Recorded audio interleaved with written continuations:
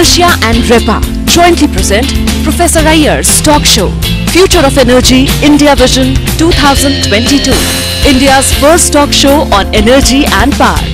Co-partners MTU On-Site Energy and BS Group, Associate Partner BHEL. Supported by Jindal Power Limited and Patel Engineering Limited. Segment Partner Green Brilliance Energy, a Falcon Media production. Welcome to the show, Future of Energy India Vision 2022 and we bring to you the viewers the last but a very power packed session and this is on demand side management and smart grid. With me today is Sri Anil Razdan, former Secretary Power Government of India on my left. On my right, Dr. Hridesh Khanna, who is the Director Business, Business Development Strategy for MTU On-Site Energy Germany.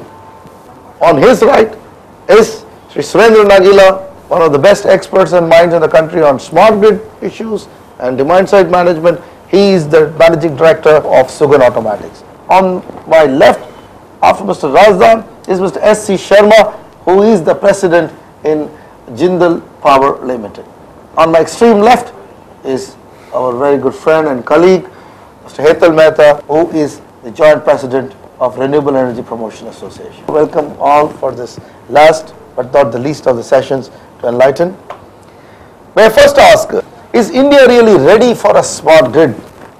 You know, here people want electricity first. So are we really in a shape to really appreciate the movement towards a technology aspect like smart? Razdan sir? Well, I'd say you see that uh, all grids pretend to be smart. It's only a question of trying to get smarter the times to come. Because even the present uh, development, particularly through our Power Grid Corporation, it's one of the best managed national grids in the country in terms of the total megawattage of power it handles across the regions, 24,000 megawatts going up to 28,000 megawatts in a few years, which can be transferred from one portion of the country to the other. Integration of, gradual integration, I should say, of five regional grids into two grids at the moment, but now hopefully very soon into a whole national grid which is common. Already moving. And the compulsions of the situation that we, when, when we want to do demand side management, when we want to have diverse sources of generation into the system, particularly the new renewables, we will need grids that are smarter. The power sector as I view today is not comprised of three elements any longer. It comprised of four elements, the generation, transmission, distribution and consumer. All four, if they have to interact, I think the grid, particularly at the end of the consumer, has to get smarter. He's got to be able to use it like he uses his PC in an elementary way. He's got to be able to trade his power requirements maybe on the grid. When he needs how much when the when the grid tariffs become more mobile and not fixed and ossified regardless of time of day and the constraints on the system the whole system has to i would say not only smart it has to react in an intelligent way. And you have to have a grid which is a two way talk when we talk of demand side management which is the subject of your think, uh, discussion today, I think demand side management only makes sense, number one, if you make a grid interactive, the consumer can participate. Number two, if power is priced appropriately and properly, so that then there is the imperative of going in for demand side management. Right. Khanna sir, do you see that in a country where we are now in a situation where 40% transmission and distribution losses is talked about. So seriously technology can play a role because we tried to see uh, the other alternative that is the physical security and all of that has failed. So can't monitoring, measurement and a kind of smart grid approach of technology bring substantially those losses down? Uh, Professor, you're absolutely right. Uh, communication is one of the major issues uh, among the uh, establishing of smart grids. And here also renewables will play a very strong role because they can cover up the gaps between the energy supply and demand and balance certain uh, erratic uh, behaviors which are currently taking place. And one of the major issues is you have to have efficient, efficient energy supply, efficient power supply, generation, distribution, and these are all elements of the smart grid which you have to integrate. And as Mr. Raza said, it has to be interactive. And for that you need very fast and good communication system. Okay. I now take this question forward to Mr. Surendra Nagila. See, we have the National Mission for Enhanced Energy Efficiency on one side. The, they form the part of the National Action Plan for Climate Change, where solar is one mission and this is another excellent mission. And incidentally, that does not talk about energy efficiency as a subject on the distribution side. So do you see there is a case here to bring that, to incentivize so that a smart grid approach can not only benefit from the APDRP model, but also the energy efficiency uh, related investments? Think originally this uh, national uh, energy efficiency was being formed. I think totally there was eight focus areas. Out of that, uh, one was this particular area where energy efficiency was the main issue. There I think they also touched about the distribution transformer, the appliances and also who saved and who will be paying the credit points and it can be tradable. A lot of things have been discussed in that. But end of the day today, what we are trying to say is that we are in a peculiar situation. One side we are talking about five star rating of a refrigerator, the air conditioner at the consumer place, but we don't rate the distribution transformer to that level. And we need to really bring in a strict norm for the DISCOM also to put in that type of distribution transformer where you have the quality of power and also the low core losses. And third important thing is that is the thing is a cash box for any DISCOM whatever you generate, let it be renewable, let it be hydel. whatever you generate, end of the day, the distribution transformer gives you the money.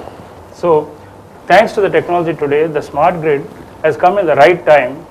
So on that note, we'll just come back to you in a short time.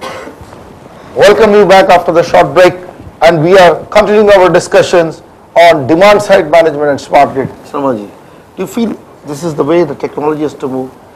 क्या हमें इसको कम करना है मतलब अगर हमें really 10 percent से 15 percent में पहले लाना है टीएनडी लॉस को जो कि प्लानिंग कमीशन की पहले मनसा थी कि भाई हम ग्यारहवें प्लान तक इसको 15 परसेंट के नीचे ले आएँगे लेकिन नहीं ला पाए।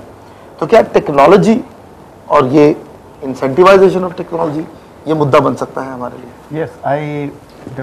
Feel, you see, in any, uh, I mean, losses, if it is to be reduced, technology is one of the things, and particularly in today's techno technological innovations which is going on, particularly uh, to make the grid more smarter, to reduce the various losses, particularly on the demand side, but metering, very efficient metering system has to be there. From that, the old type of systems must get changed to the innovative technological system so that the losses and ultimately because now we are going towards the privatization.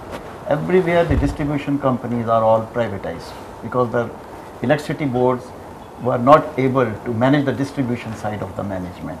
And under the government of India policy, the distribution companies have been already now in almost all the states they have been established. And everybody, I mean, is a commercial. So once you are a commercial oriented, the technology has to come into play. I fully agree that the technological innovations on in the smart grid must come up Razan sir, I come back to you on this. Still 80% of our DISCOMs are making losses. Reports clearly tell us that they are in bad shape. There is no change even after the reforms are adapted. It almost seems that the APDRP 1 is gone down the drain. No, not really, because I think the process has just begun. APDRP, you see, consists of two components. One is the compulsory component, which is that you plot all the consumers, you, you meter everybody. First of all, you freeze the frames, everything, input, output, everything should be metered so that you have complete energy audit. And the government of India is to pay 100% cost of that. The other part is at part B, you can take your loans for it, you can convert some of this into grant provided you meet those standards of coming down to your desired level that is 15% from wherever you are at the moment. Maybe the process has just started off, it, people took time in taking off, but I think technology has to come in particularly to check where man has failed, machine must come in, technology must come in to eliminate power thefts. We've got to replace the human element, replace it with, with uh, mm, technology or a machine, whatever you might call it, that if anybody tampers with the system, it says do not touch. You cannot molest an electricity supply line somewhere and moment there's a case of molestation, there must be an immediate reaction and an arrest or something like that. At least his power supply must be cut off. Well, that technology can do today. And I think that we've got to be a little more stern and ask the states that look here, you've got the money, now let's get going with the business. Even the some of the new suggestions that are coming in of mm, rescuing the distribution companies in distress. One of the suggestions is I think that you must implement our APDRP in, in spirit and do it fast. You must increase your tariffs. So all this, the health of the distribution sector is extremely important. But Professor, I must get back to the National Mission of Enhanced Energy Efficiency. I think you see this is a mission that uh, has not really been properly understood. It has uh, two components. One is the performance, perform, achieve and trade part of it, where almost 462, uh, I think, uh, industries in, in eight sectors have been studied and uh, norms have been laid out for them and if they attain their level of efficiency they can trade their uh, uh, whatever their overachievements. The other part is the demand side management. While on the first scheme the expected investment in 4 years is about 75,000 crores in the second part, that is demand side management, municipal and uh, individual, it is about 22,000, I think, crores, right. a little more than that. So these schemes will only be successful if you get onto a strict regimen on many areas that you got to conform to efficiency norms. And I would entirely agree with uh, Doctor here that we must bring distribution companies also as designated consumers, not only the transformers. The whole distribution company should be declared as a designated consumer and it must distribute electricity efficiently and according to norms. In fact, that is a suggestion that I made to the Director General Bureau of Energy Efficiency that even if you have to amend the act, do please do so. May I go back to Hetal Mehta? May I request him to throw the light? Gujarat में ये जो losses हैं ये 15 percent के करीब आ गई है नीचे नहीं आए होंगे लेकिन उसके आसपास है तो ये एक स्टेट कर पाया है and I think maybe a couple of other states will follow suit after Gujarat has done it, you know. What, what was it that Gujarat took over a lot of technology adoption? Like there are examples like GETCO who have adopted a lot of technology and I think smart grid pilots are already trying to be uh, uh, modeled in Gujarat, right? Yes, see, first of all, what we say technology has to move with time. That is the base what we understand. Second you must have will to win. And third you have to develop the culture. And all together working we are able to achieve it. This is the base. Because only technology cannot work unless you develop the culture. We will come back to you and we will discuss whether privatization in the distribution sector has really succeeded in the country. Back right after this break. Welcome back to this segment, uh, Mr. Nagila. How do you see a company driven by technology? It is wanting to offer something. But what are the challenges for a company which has an offering to make an idea like a smart grid pilot? Offer this to, let us say, a utility. We have a different set of uh, set of problems. This is a common word whenever you go to any DISCOM, you will find that we also have it and we don't require it, we know about it. You need partners in that. Now when it comes to the question of executing it, there is no special force or a skill set where you can absorb such technologies or such skill set to bring it either a smart grid, leave alone smart grid, even reduction of losses and bringing some streamlining of the system, you need a different mindset of people because they are bogged down everyday problems where they are neck deep. You cannot ask them to take extra burden of understanding something and then implement it at a particular cost. Nobody wants to take a risk there. There is nothing more one, one can think about in the system. We are going to discuss whether India's power sector benefited at large from the privatization aspect. aspect. First, Razdan Sir, we did all this privatization of distribution with a lot of fanfare, and we said, "Oh, but it's magic wand, and come on, you know, all these distribution laws in a few years will go." And what we found is, it, it probably remained the same. We did corporatization of the distribution sector, we did not do privatization. Privatization was very sparse. It was done in Orissa with not much success. It was done in Delhi, I think, with a reasonable degree of success where the government subsidies have been done away with and uh, the quality of power supply has improved. In other places, you see, we are, at times we become captives of our own ideological barriers that we build around us unnecessarily. We have agreed to have a franchisee system in many places, but we will not privatize. Talking of the distribution franchising. Yes, precisely. So that's not true privatization, but there was, you see, for example, revenue franchisee, there could be an input franchisee. And I think there's no point in having a revenue model because you just don't want somebody to go and collect your money for you. You need that system to be improved. Quite surprisingly, the restructured APDRP has not been extended to private distribution companies. It's an interesting point. Yes, and we said that maybe we'll review it after two years. There were some objections raised that why should the private sector get benefit out of it? No, it is not the private sector.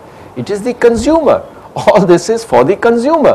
The consumer continues to be a private person. Exactly. So I think we must extend this restructured APDRP to the entire distribution community, first Then- of, first of all. And I think ideology, if some of them feel that they can only do with a franchisee and not with uh, absolute privatization, by all means. There is also one danger you see in some privatizations that if you hand over everything to the private mode in our kind of an economy, and if that company fails, who comes and sits in its place as a replacement? So wherever possible, I think we should keep a little mix to begin with of uh, public sector and private sector companies so that there is some stability in the system. If the whole system becomes established and a way of life, so to say, that is what we wanted in the restructured APDRP, that you watch their performance continuously over five years and assess them each year so that that loss reduction becomes a way of life and not a once in a flash pan incident. So once 5, 10, 15 years, these companies have coexisted, cultures will exist, we will know that what are the robust models that have been developed, then I think we can maybe privatize everything. But if public sector and private sector can coexist as they do in the city of Mumbai, why not? Right. I will further add to that. You know, we have the public sector, the private sector, and also the cooperative sector in this country. So we are a little bit different in terms of the model. Now, I will like to give our speakers uh, the last 10 seconds, each one, you know, what are the two or three things that they want for distribution efficiency or reforms in this country? Starting with, you know, an out, literally a worldwide view, an overview from Dr. Khanna, please. As Mr. Raza has pointed out, there has to be a, some balance and some regulation there because otherwise uh, private companies may misuse that also, you see, so we have to look into that. But that is something which has to come into the policy and which has to be reviewed fast because the appreciation of time value of money is not there yet, you see, I think. Very good. Nagila sir? Distribution franchisee is the only answer for implementation of technology without any barrier. And secondly, because there's a carrot and stick type of uh, environment. And second thing is that should also take care that the consumer should be grid smart. Sharma ji? the distribution side as well as the smart grid they have to go hand in hand and the technology innovations which have come into the world must be brought back into this distribution management and we must see that ultimately the consumer also gets benefited. It is not only the distribution company which gets benefit. Mehta sir. We are waiting for the day when the consumer will decide from which we should buy the power. From whom to buy the power. to buy the, The choice power. with the consumer. Co- choice will with the consumer. Ultimately, we are waiting for the day when the consumer will have the choice. What has come out of this excellent discussion and is that we have to pay a price for electricity. We need to adopt technology. Definitely technology is an important element of change and one thing is there instead of creating more capacity if we can put about a crore or 10 million per megawatt to change the dimension and retrieve back 20% or 30% of electricity, it's far more economical and far more advisable. And with that, with all these new solutions and a little bit of risk taking, political will, and a common grit, and definitely the consumer making him the king and maybe God at times, right? We will go and definitely succeed. Thank you, all viewers. We'll be back on this show with you with another power packed set of episodes. Goodbye and good luck. Thank you. Enertia and REPA jointly present Professor Iyer's talk show Future of Energy India Vision 2022 India's first talk show on energy and power. Co-partners MTU On-Site Energy and BS Group, Associate Partner BHEL. Supported by Jindal Power Limited and Patel Engineering Limited. Segment Partner Green Brilliance Energy, a Falcon Media Production.